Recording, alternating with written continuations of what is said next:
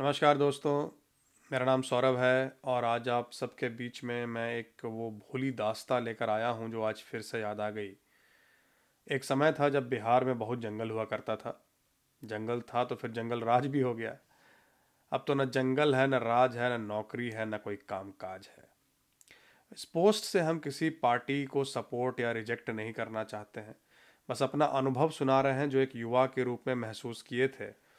हमारे जीवन के किशोरावस्था से लेकर एक नौजवान बनने का सफ़र हमने लालू जी के राज में ही पूरा किया था। जब तक नीतीश बाबू आते, तब तक बिहार हमसे छूट गया। और ऐसा छूटा कि नीतीश बाबू पिछले 18 साल राज करने के बाद भी वापस नहीं बुला पा रहे। जब हम चौथा चौथा क्लास में थे, तब लालू जी मुख्यमंत्री बने। गल्फ वॉर चल रहा था। उनको साइकिल पर विधानसभा जाते हुए देख कर गजब लगा। साथ में सभी सीनियर बाबू लोग पुलिस अफसर बॉडीगार्ड सब लोग एटलस साइकिल पे पैडल मार मार के पीछे आते हुए। मंडल और मंदिर का ज़माना था वो।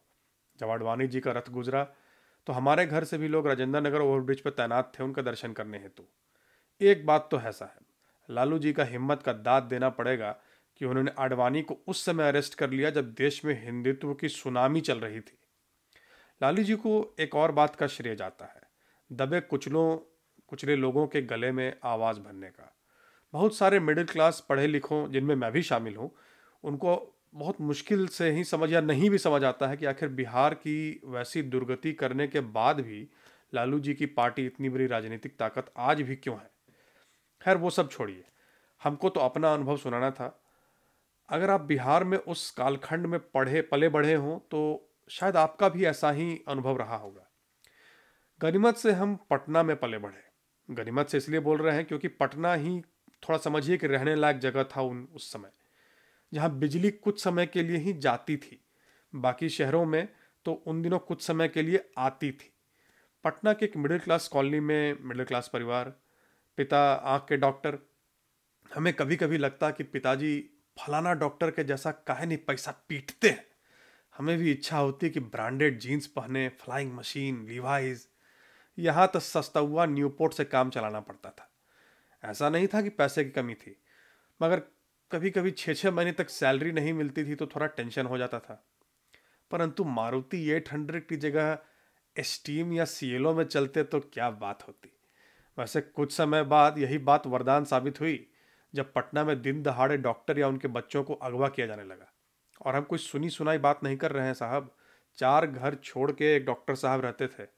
पटना के लेवल पे बहुत फ़ेमस पहले उनके बच्चों पे कोशिश की गई अगवा करने की, जो कि नाकाम हुई। तब डॉक्टर साहब ने कलेजे पे पत्थर रखकर बच्चों को बिहार से बाहर भेज दिया। अगले महीने डॉक्टर साहब को ही अगवा करके ले गए। हमारे घर से मुश्किल से 200 मीटर की दूरी पर उनका घर था। हमें प्रकाश झा की अपहरण देखने की कोई ज़रूरत नहीं है। ये सब लाइव हुआ है हमारी आँखों के सामने। डॉक्टर साहब गनीमत से छूट गए कुछ समय पश्चात। हमें भी थोड़ा डर लगता कि कहीं अपने को भी कोई ना उठा ले जाए। सुमन सौरभ जैसे मैगजीन में ऐसी कई कहानियाँ पढ़ी थी जिसमें किशोर युवा अपनी बहादुरी और चतुराई से गुंडों के चंगुल से भाग निकलते हैं। हमें लगता है कि शायद हम भी किसी कहानी के किरदार न बन जाए। ज़्यादातर बिहारी बच्चे उन दिनों दसवीं या बारहवीं के बाद बिहार छोड़ देते थे। बोरिंग रोड में कोई एजेंट का फ़ोन नंबर छपता था कर्नाटक या महाराष्ट्र के इंजीनियरिंग कॉलेज में एडमिशन हेतु। आजकल तो सभी बच्चे कोटा चले जाते हैं, मगर हम उन सब चक्करों में नहीं पड़े। बिहार कंबाइंड निकाले फिर पटना के ही महान बिहार कॉलेज ऑफ़ इंजीनियरिंग जो कि अब एनआईटी हो गया है, उसमें दाखिला पा गए। नीतीश जी भी वहीं से ही पढ़े हैं, हमारे सुपर सीनियर हैं नीतीश जी। थर्ड ईयर में पहुँचे तो पिताजी के सामने हमने अपना ज्ञापन पेश किया। अब जूनियर सब सभी मोटरसाइकिल से कॉलेज आता है, हम हीरो रेंजर सब नहीं जा सकते, हमको भी एक मोटरसाइकिल ले दीजिए। पिताजी ने दो शर्तें रखी। सेकेंड ईयर में डिस्टिंक्शन लाना होगा और मोटरसाइकिल हीरो होंडा की नहीं लेनी है। अब जो लोग उस समय के बिहार से वाकिफ नहीं हैं, उनको शायद ये दूसरी शर्त थोड़ी अटपटी लगे। जी नहीं, ऐसा नहीं कि पिताजी हीरो होंडा के शेयर में भकस के पैसा गंवाए थे या उनका कोई भारी दुश्मन हीरो होंडा पे चलता था। कारण था मोटरसाइकिल छीनने वाले गुंडों की भयंकर brand loyalty. Hero Honda motorcycle खूब छिनाता था। सुनते थे कि उसका जनरेटर बना के बेचता था नॉर्थ बिहार में, जहाँ जैसा कि मैंने पहले बताया कि बिजली कुछ समय के लिए आती थी। पिताजी ने अपने तरफ़ से राजदूत का सजेशन दिया। हमने सोचा कि ठीक ही है टी शर्ट जीन्स की जगह कुर्ता, पैजामा में गमछा टांगले जब कॉलेज में भट भट भट भट भट करते हुए घुसेंगे तो स्टूडेंट के जगह प्रोफेसर साहब लोग ही उस दिन बंक मार देंगे। खैर, एक बार बजाज पल्सर पल्सर की तरफ़ भी झुका हुआ, परंतु भाई हमें अपनी मर्दानगी पे कोई शक नहीं था साहब, जो ऐसी मोटरसाइकिल खरीदने की ज़रूरत पड़ जाए जिसपे हमारे डेफिनेटली मेल होने की पुष्टि हो। ये अलग बात थी कि आवंटित राशि में पल्सर का न पल आ पाता न सर। फिर क्या? बजाज बॉक्सर, जिंदाबाद। परंतु यह एक और कारण था जो हम इतनी आसानी से हीरो, होंडा, पैशन या स्लीक का सपना छोड़ के बॉक्सर पर तैयार हो गए। हम दूसरे कॉलोनियों में क्रिकेट मैच खेलने जाते थे। उन्हीं में से एक कॉलोनी की टीम में एक छरहरा सा लड़का भी खेलता था। उसका असली नाम तो किसी को पता नहीं, हम लोग उसको बाबा बुलाते थे। कपड़े भी एकदम हीरो जैसे। Boot cut, jeans station road से खरीदा हुआ नकली लेदर का boot, American rap singer Snoop Dogg जैसा अंदाज था बाबा का। एकदम चिल और गजब का वन लाइनर मारता था। ऐसा तंज कसता कि सामने वाला मुँह बा देता। मगर एक दिन नियति के सामने बाबा की ज़ुबान बंद हो गई। गर्मी छुट्टी चल रही थी, एक दोस्त भागा भागा आया। अरे चल भाई, अरे वो बाबा को कल रात में बाइक छीनते हुए कोई गोली मार दिया। हम लोग भागे भागे पहुँचे बाबा के घर, सामने भयानक भीड़। उसकी बॉडी को शव वाहन में डालते समय एक हल्की सी झलक मिली। साथ में खेलता था मतलब एकदम अचानक से। फिर कुछ दोस्तों से पूरी जानकारी मिली। शायद फादर भी थे साथ में। बाबा ने बाइक छीनने वाले को भी मज़ाक में ही कोई तंज मारा था। उसने सीधा सर पे कट्टा लगा के ट्रिगर दबा दिया। उन दिनों क्रिमिनल लोगों को भी डिग्री मिलती थी। बाइक छीनने वाला समझिए कि मैट्रिक पास है तो मर्डर करने वाला post graduate. Bihar open university में ये डिग्रियाँ रोज रात के अंधेरे में बांटी जाती थी। बाबा वाली घटने का, घटना का संज्ञान लेते हुए हमने सोचा कि बॉक्सर लेने में ही भलाई है, वरना किसी दिन दैनिक हिंदुस्तान अखबार के पटना शहर वाले पेज में कोने में पाँच लाइन का न्यूज़ आइटम बन के रह जाएँगे हम भी। लालू राज के पंद्रह सालों में बहुत कुछ हुआ, उस पर आपको और लोग खूब सारा ज्ञान दे देंगे। हमको तो इधर कुछ नवयुवकों से भी फीडबैक मिला है कि वो सब बातें मत कहिए इमेज खराब होता है, इत्यादि।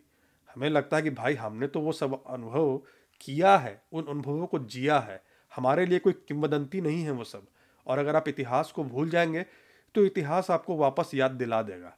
आजमा के देख लीजिए। नीतीश जी के बारे में क्या लिखे सुपर सीनियर हैं हमारे। मगर हमको ये बात नहीं बुझाता है कि कोई बड़ा कंपनी या उद्योग बिहार में लगा क्यों नहीं अभी तक? हाल ही में प्रशांत किशोर को सुने कहते हुए बहुत दमदार बात बोले हैं वो, क्योंकि बिहार देश में सबसे चीप लेबर सप्लाई करता है। अब यहीं फैक्ट्री लगा दीजिएगा तो गुजरात के फैक्ट्री में कौन जाके बारह हज़ार में काम करेगा? हम इधर बैंगलोर में रहते थे। वहाँ पे आप आर के पुरम से सरजापुर रोड तक ड्राइव कीजिए। पंद्रह किलोमीटर होगा। इस आउटर रिंग रोड के इलाके में जहाँ पहले बैलगाड़ी और बैल से लोग खेत जोतते हुए दिखते थे, आज सौ से ज़्यादा मल्टीनेशनल कंपनियों के चमकीले चमकीले दफ्तर हैं। आपका गर्दन टेढ़ा हो जाएगा देखते देखते माइक्रोसॉफ्ट अमेजन गूगल और अभी तक हम इलेक्ट्रॉनिक सिटी, नागवारा या वाइटफील्ड का बात भी नहीं किए हैं। माने हम समझना चाहते हैं कि आईटी जैसा सरल सा उद्योग में आखिर करना क्या है सरकार को? सिर्फ़ एक ढंग का इंफ्रास्ट्रक्चर बना के देना है? बना दीजिए एक स्पेशल इकोनॉमिक जोन ना कोई कोल्ड चेन का लफड़ा, ना कोई ग्रीन कोट से लड़ाई। एक स्पेशल इकोनॉमिक जोन बना के दे दीजिए।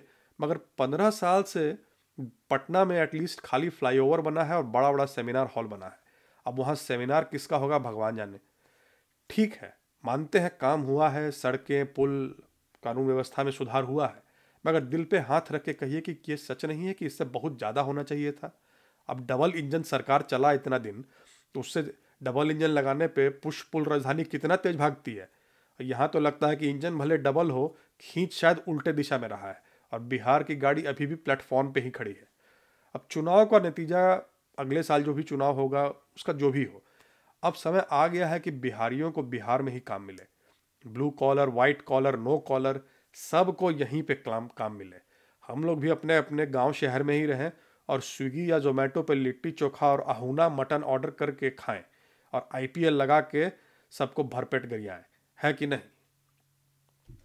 तो आशा करते हैं आपको ये पॉडकास्ट अच्छा लगा हो। पहले, दो साल, तीन साल पहले लिखे थे ये। थोड़ा दिल से लिखे थे क्योंकि ये कहानी हमारे लाइफ की ही कहानी है और शायद आप लोगों को भी कहीं ना कहीं ये कहानी हिट करेगी।